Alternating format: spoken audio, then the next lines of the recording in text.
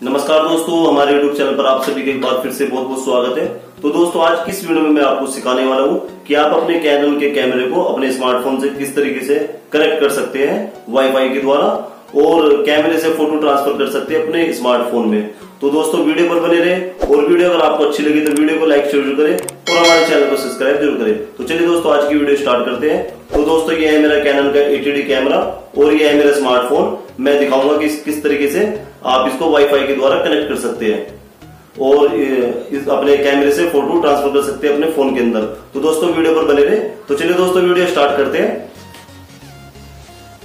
तो चलिए दोस्तों, सबसे पहले करते हैं हम अपने कैमरे को ऑन ऑन करने के बाद में हमारा कैमरा स्टार्ट हो जाएगा। स्टार्ट करने के बाद में हम चलते हैं मीनू पर। मीनू पर जाने के बाद में यहाँ पे हमें एक ऑप्शन मिलेगा सेटिंग का। सेटिंग के ऑप्शन में यहाँ पे नीचे दिया गया ऑप्शन ऑप्शन दिया गया वायरलेस कम्युनिकेशन सेटिंग हम इसको खोलेंगे और खोलने के बाद में यहाँ पे दिया गया वाईफाई और एन एनेबल इसे करने के बाद में दोस्तों ये डिसेबल पर मिलेगा आपको। आपको इसको करना है अनेबल अनेबल करने के लिए ओके करेंगे। ओके करके यहाँ पे ये अनेबल हो जाएगा। इसके बाद में दोस्तों आप देख सकते हैं, यहाँ पे एक छोटा सा आइकन दिखेगा आपको वाईफाई ऑन लिखा हुआ है इस पर हमारे कैमरे की वाईफाई ऑन हो गई है। और अब हम चलते हैं अपने स्मार्टफ़ोन पर। तो चलिए दोस्तों, सबसे पहले चलते हैं हम अपने फ़ोन की स्क्रीन पर और फिर जाते हैं हम प्ले स्टोर पर। प्ले स्टोर पर जाने के बाद में हम सर्च करेंगे यहाँ पर Canon camera apps Canon camera connect application दोस्तों हमारे सामने आ गई है। हम इसको करते हैं अपने फ़ोन में इंस्टॉल ये दोस्तों मैंने अपने फ़ोन में पहले से इंस्टॉल की हुई है। इसलिए यहाँ पे ऑप्शन आ रहा है ओपन का। ओपन करने के बाद में दोस्तों करना क्या है? हम यहाँ से करेंगे नेट बंद और अपनी वाईफाई अपने फ़ोन की ऑन कर देंगे। इसके बाद में दोस्तों तो दोस्तों यहाँ पे आपके सामने इस तरह के ऑप्शन आएँगे। इमेज ऑन कैमरा और रिमोट लाइव व्यू शूटिंग तो हम दोस्तों इस पर क्लिक करते हैं। इमेज ऑन कैमरा पे ऑप्शन करते हैं तो यहाँ पे येस नो का ऑप्शन आएगा। हम करते हैं इसको येस येस करने के बाद में दोस्तों कुछ इस तरीके से आपके सामने ऑप्शन आएँगे।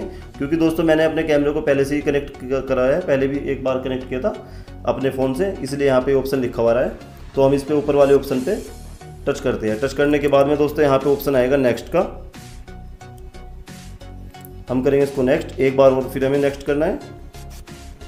एक बार और नेक्स्ट और यहाँ पे दोस्तों ऑप्शन आ गया है display smartphone wifi setting screen इसे करनी है वाईफाई को एक बार बंद करके हम इसको खोल देते हैं एक बार और।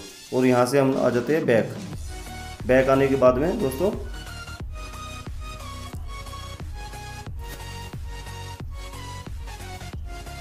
वाईफाई खोलने के बाद में दोस्तों कुछ इस तरीके से हमारे कैमरे की वाईफाई को हमारा फ़ोन कनेक्ट हो जाएगा।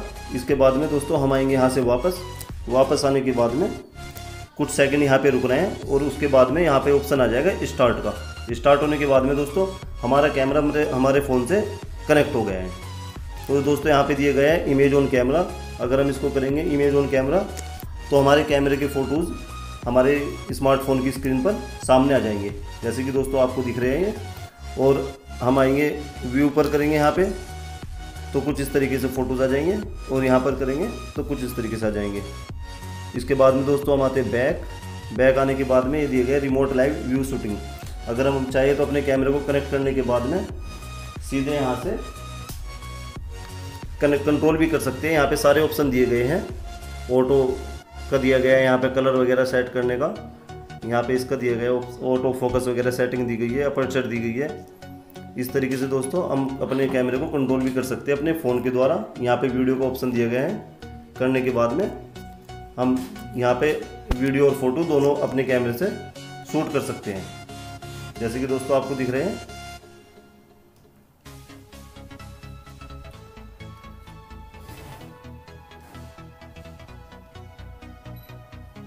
जैसे कि दोस्तों, ये कनेक्ट हो रहा है हमारा कैमरा हम आते हैं वापस। आने के बाद में इमेज करते हैं। कनेक्ट यहाँ पे दोस्तों फ़ोटोज़ दिए गए हैं। यहाँ पे हम इन फ़ोटोज़ को हम अपने स्मार्टफ़ोन में डाउनलोड कर सकते हैं। यहाँ पे दिए गए इंपोर्ट का ऑप्शन इंपोर्ट करने के बाद में दोस्तों, यहाँ पे दो ऑप्शन मिलेंगे आपको रिड्यूस का और ओरिजिनल साइज़ का। अगर आप चाहे ओरिजिनल साइज़ में फ़ोटो अपने स्मार्टफ़ोन में ट्रांसफ़र कर सकते हैं और अगर छोटे साइज़ में चाहे तो रिड्यूस मतलब लो क्वालिटी में थोड़ी आप ट्रांसफ़र कर सकते हैं। जैसे कि हम ओरिजिनल क्वालिटी में से ट्रांसफ़र करेंगे तो यहाँ से करेंगे ओके ओके करने के बाद में ये कैमरे की पिक्चर हमारे स्मार्टफ़ोन में ट्रांसफ़र हो जाएगी। अगर हम चाहें तो इसको यहाँ पे आके देख भी सकते हैं। यहाँ पे जाएँगे हम गैलरी में। गैलरी में जाने के बाद में यहाँ पे हम जाएँगे इसमें। ये आपके स्मार्टफ़ोन में एक ए नाम का एक फ़ोल्डर क्रिएट हो जाएगा। उसमें आपको पिक्चर यहाँ पे मिल जाएगी। जैसे कि दोस्तों, ये हमारे स्मार्टफ़ोन में गैलरी में पिक्चर आ गई है। तो दोस्तों, वीडियो अगर आपको अच्छी लगी तो वीडियो को लाइक शेयर करें और हमारे चैनल को सब्सक्राइब ज़रूर करें। तो चलिए दोस्तों, आज के लिए इतना ही। फिर मिलते हैं एक नेक्स्ट वीडियो में।